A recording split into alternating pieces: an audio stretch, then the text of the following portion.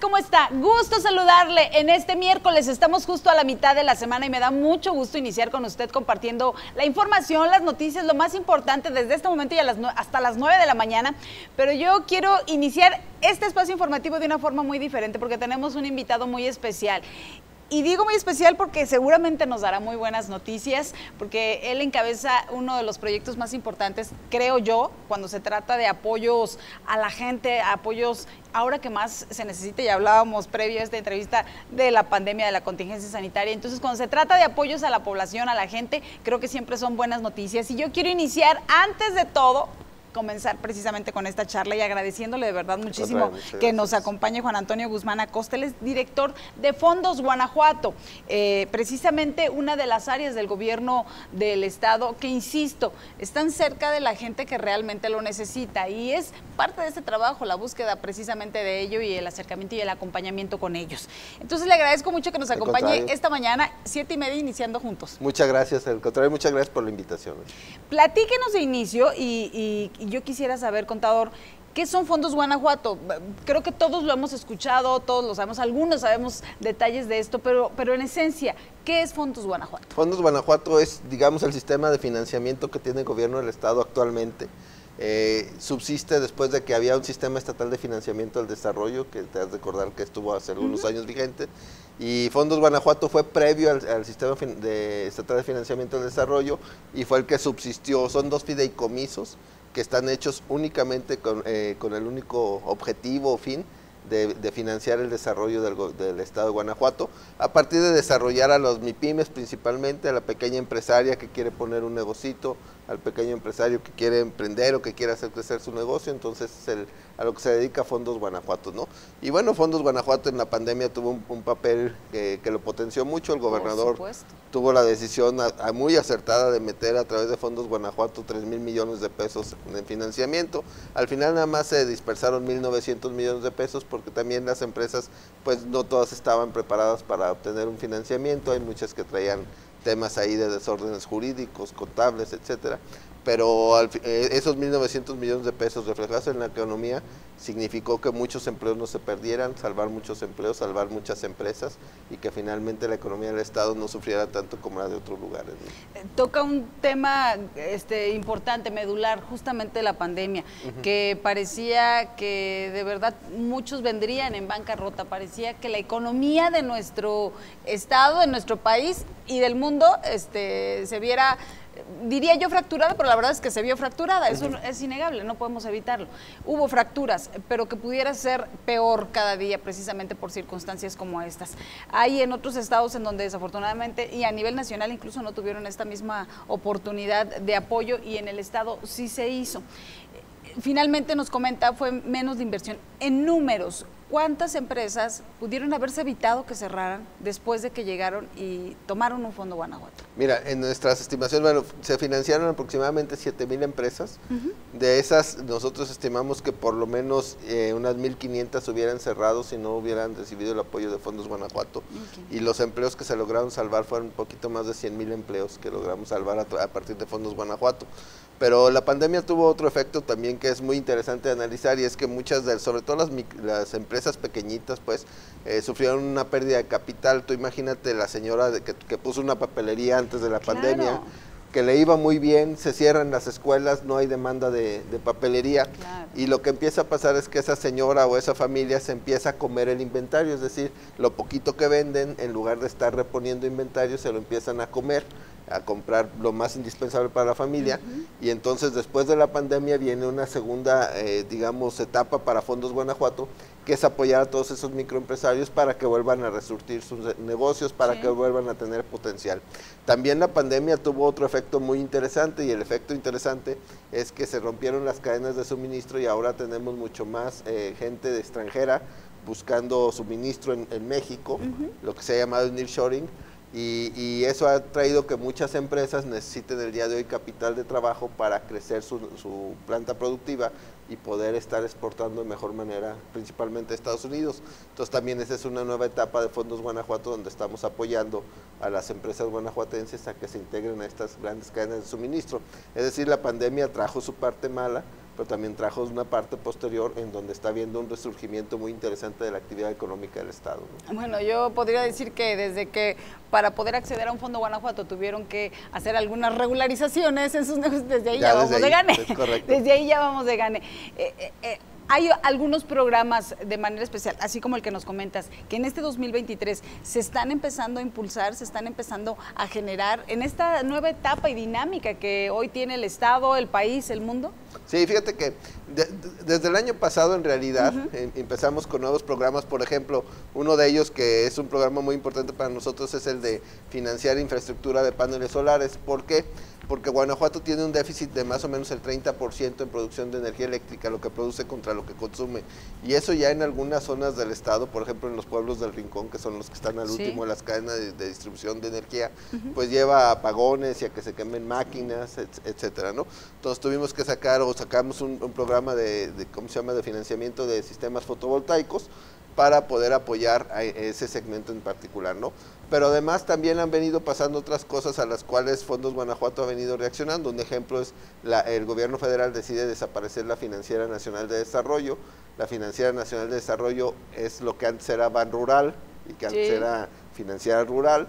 Y bueno, deja ahí, yo digo, colgados de la brocha a muchos, eh, gente que está tanto en el sector primario como el sector de los agronegocios. Y el día de hoy hemos tenido que entrarle a financiar esa esa parte porque... ¿Es lo que acaba de desaparecer apenas ahorita? ¿O esa es otra? No, es esa. Esa la acaba de desaparecer a principios de este año. Exacto. Y entonces eh, estamos sacando programas para financiar al, pequeño productor del campo, para eh, financiar a los agronegocios, es decir, a quien tiene el empaque, al que tiene la transformación, porque toda esa gente necesita un impulso, son, eh, es un sector muy relevante para el estado de Guanajuato y tenemos que apoyarlos. Eh, otro programa que salieron ayer, incluso las reglas de operación fresquecito, es el programa de renovación de, taxis, de parque vehicular de taxis. En un evento que tuvimos aquí en la ciudad de Celaya, el gobernador nos instruyó a sacar un programa con una tasa del 6%, que lo que sacamos fue al 12 menos 6 de reembolso en tasa si nos pagan puntuales, y para poder apoyar a los taxistas a que renueven la flota de taxis del Estado, porque hay algunos, bueno, hay varios vehículos que ya no cumplen con las características que tiene eh, las leyes de, en materia de transporte, ¿no? Particularmente de este taxi, eh, ¿puede ser quien tiene un solo taxi o tiene que tener al menos una cantidad? no, no, no. o sea, puede ser el que tiene un solo taxi con tener su concesión, su concesión de gobierno del Estado. Con eso se puede acercar a partir de hoy justamente a Fondos Guanajuato, cualquiera de nuestras seis sucursales o bien a las direcciones de economía de los municipios. Prácticamente tenemos convenio con todos los municipios para que actúen como ventanilla nuestra y se puede acercar y hacer su solicitud para la renovación de su, de su vehículo, ¿no?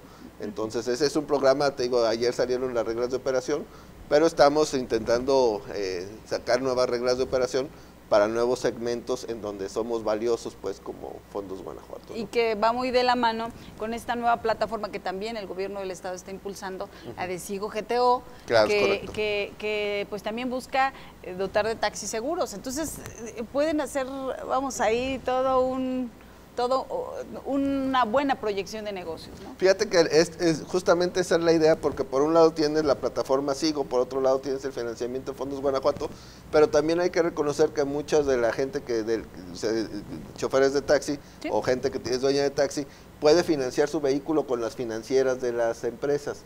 Entonces el programa no nada más es el financiamiento de fondos, también a quien vaya y tenga un financiamiento, vamos a decir, con la financiera de alguna de las empresas, nosotros le podemos dar un pequeño reembolso en tasa para mejorar su tasa de interés y puede ser más que competitivo en eh, su financiamiento. Así es, pues este tema es muy importante. También tienen proyectos, entiendo yo, que tienen que ver con los ahorradores de agua, que también va con lo mismo de, la sustentabilidad, que también es otro de los proyectos que se ha impulsado mucho el gobierno del Estado. Fíjate que ese es, es, un proyecto bastante importante porque como tú sabes ya hay varias ciudades del Estado que tienen estrés hídrico, que no hay agua, pues estamos pues batallando por agua. Y más en esta época. Más en esta época de estiaje. Y hay un estudio que la Comisión Estatal del Agua nos, nos hizo favor de compartirnos y de invitarnos a verlo, en donde para tener cierta cantidad de agua ellos necesitarían, por ejemplo, invertir en una planta tratadora más o menos 2 mil millones de pesos, pero si en lugar de invertir en la planta tratadora le metemos financiamiento en equipos ahorradores eh, con 300, 400 millones de pesos, logras el mismo efecto que con los 2 mil en la planta de tratamiento. Entonces, a partir de eso decidimos sacar un financiamiento para todos aquellos restaurantes, hoteles, empresas que deciden cambiar sus equipos por equipos ahorradores a fin de poder apoyar el que tengamos un mejor comportamiento del consumo de agua en el Estado. Híjole, y eso te beneficia como empresario desde las dos vertientes, desde el ahorro en el consumo ya en la generalidad y por otro lado también apoyas al medio ambiente que está, digo yo a veces, está como agonizando ya nuestro, nuestro planeta y nos lo grita no, no, no lo susurra, no lo grita. Y estos proyectos son así. Y fíjate que ese, ese financiamiento y el de paneles solares tienen una característica que es muy bonita desde el punto meramente técnico financiero, que es que no se pagan con que generes más utilidades, sino se pagan con los ahorros que generas por la misma instalación de los equipos. Entonces eso hace que cualquier empresa sea susceptible de poder entrar a esos esquemas porque con los ahorros pueden pagarlos y después se quedan, se quedan ahorrando muchos años ya sin tener un pago. ¿no? Hay temas también de apoyos en materia de obras por parte de Fondos Guanajuato. Fíjate que el, sector de la, de la, obra pública, principalmente los contratistas de obra pública, habían o han sido históricamente un sector muy maltratado por la banca comercial, no, no son sus, sujetos de financiamiento, pues, ¿no? Eh, tú vas, un, un, constructor va con la banca y regularmente le cierran la puerta y le dicen usted no es sujeto de, de financiamiento. ¿Por qué? Pues por la inestabilidad que representa los flujos de una empresa que se dedica a la obra pública. Eh, ese era un gran pendiente también que teníamos y había ahí un tema legal que nos impedía entrarle a ese segmento. Fue necesario un trabajo coordinado incluso con el Congreso del Estado y, parte del gabinete de, gobierno del Estado como el secretario Tarcisio de SICOM, en donde tuvimos que incluso pedir la modificación de la ley del artículo 104 de la ley de obra pública del Estado y después de eso crear un programa exprofeso para financiar obra pública en el Estado de Guanajuato. Ya lo estamos haciendo, quienes son más usuarios o quienes han sido más usuarios son empresas que hacen obra pública para los municipios, porque los municipios luego son los que se tardan un poquito más en, pagarle a los, ¿cómo se llama?, a, los, a las empresas constructoras, pero es un programa muy exitoso, tenemos muy poquito tiempo con él, lo presentamos en diciembre y traemos ya unas 25 empresas, poquito más, que han sido usuarias del, del esquema, entonces pues era un sector olvidado con el cual teníamos que pues, apoyarlos finalmente como, como gobierno del Estado y afortunadamente logramos sacar el, tema. Eh, eh, me comentabas, contador, que eh, buscan ampliar precisamente pues los sectores de apoyo, los sectores de brindar esta ayuda que a veces se necesita, el arranque, el, el jalar parejo, a veces esto se necesita. Me comentabas en esta búsqueda eh, pues que también hay unos sectores eh, que se ven muy lastimados a veces y, me voy a referir particularmente al tema de la tortilla, el campo y todo esto, que se ven muy lastimados en ocasiones por el precio del grano, por la, el clima, por los falta de apoyos, por la energía eléctrica, por, por muchas circunstancias y hay un programa también para ellos. Y entiendo este lleva por nombre mi maíz mi tortilla. Y también es para estos productores de esta cadena eh, de, suministro que, es apoyado también por Fondos Guanajuato. Y fíjate que ahí también el, tema cuando lo analizamos y que decidimos sacar ese programa pues es que eh, México como tal tiene un alto consumo de tortillas. Nuestra dieta depende mucho de tortilla no entonces eh, una de las formas de evitar un incremento en el precio de la tortilla que ahorita está controlado porque el precio del maíz ha ido a la baja pero por ejemplo el año pasado que el precio del maíz estaba excesivamente alto, pues una de las formas de poder contrarrestar eso es que los, eh, las tortillerías tuvieran acceso a hacer compras por volumen y a precios de tasas de interés bajas para que pudieran bajar el precio de sus insumos. Entonces sacamos ese programa con una tasa preferencial eh, pudiendo financiar a las tortillerías para que compren ellos su maíz en gran escala o en escala mediana y con eso logren mantener los precios de la tortilla, que era el objetivo principal, que en, Guanajuato la tortilla no subiera de precio. Y si tú haces un análisis, en Guanajuato mantuvimos precios siempre no arriba de 22 pesos el kilo de tortilla, cuando este, estados vecinos llegaron hasta 28, 29 pesos el precio de la tortilla.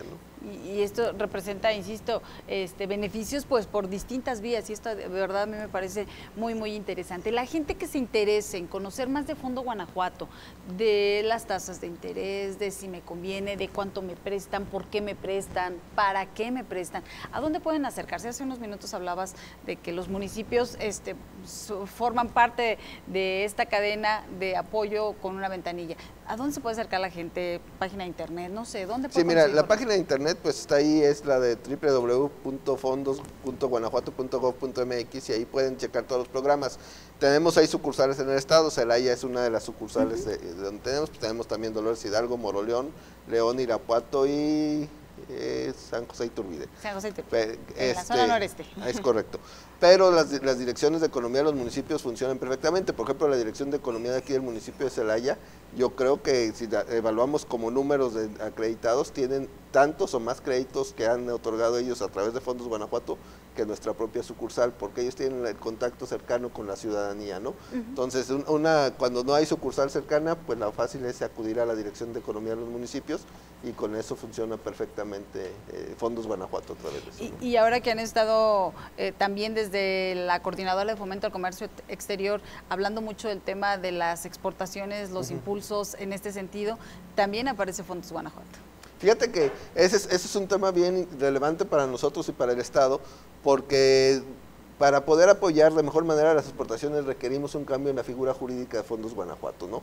Y ese cambio se da en octubre, se aprueba la nueva ley para el financiamiento de las MIPIMES en el Estado y, e, ahí se, se, pide o se ordena por Ministerio de Ley un cambio en la figura jurídica de fondos. Debió de haberse dado en abril, estamos trabajando en ella, pero ese es uno de los pendientes que todavía tenemos que sacar en esta administración, un cambio en la, la figura jurídica para poder apoyar a los exportadores, porque el exportador regularmente no requiere financiamiento directo, sino requiere descuento de las cuentas por cobrar al extranjero. Y eso el día de hoy no lo podemos hacer, ni podemos hacer líneas revolventes, que también es lo que solicita el, ¿cómo se llama? el exportador. Pero se trabaja en ello, la intención Estamos trabajando, estamos trabajando en ello y a marchas forzadas, créeme que no hay día que no andemos ahí correteando una parte del proceso. Ya, ya, queda poco para que termine la administración. ¿Hay retos todavía que tienen que cumplir antes de que acabe este sexenio? Bueno, para nosotros como Fondos Guanajuato y incluso de manera personal el gran reto es dejar un vehículo moderno porque este vehículo que, está, que tenemos el día de hoy pues data de hace 31 años y el Estado hace 31 años Guanajuato era algo totalmente diferente de lo que es el día de hoy. Era un estado más con granos, sin mucho este, desarrollo industrial, y el día de hoy el Guanajuato es otro. Entonces necesitamos este vehículo que de por sí es bueno, modernizarlo para que sea competitivo en este nuevo entorno. Ya somos más industriales, más de, exportaciones. Más de exportaciones. Hace 30 años exportábamos 300 millones de dólares, el año pasado exportamos 30 mil millones de dólares. Ese tamaño es el crecimiento. Y por ello la importancia de lograr, por ejemplo, esto, estas, estas modificaciones que es correcto. Pues de verdad te agradecemos mucho que nos hayas acompañado en esta mañana, que nos permitas conocer un poquito más de fondos De, de, saber que están cerca de las micro, pequeñas y medianas empresas, que a veces son las que necesitan, bueno, toda, toda la economía realmente, pero a veces necesitan este impulso un poco, un poco mayor. Recuérdame nada más, módulos en los municipios, ¿verdad? En todos. En, todos los municipios estamos a través de la Dirección de Economía de los Municipios, pero tenemos seis sucursales en el Estado. Así es. Director, muchísimas gracias. Al contrario, muchas gracias. ¿eh? Muchísimas gracias. Él es Juan Antonio Guzmán Acosta, él es el director de Fondos Guanajuato, quien nos platicó un poquito de lo que es precisamente toda esta eh, mecánica de movimiento de fondos Guanajuato.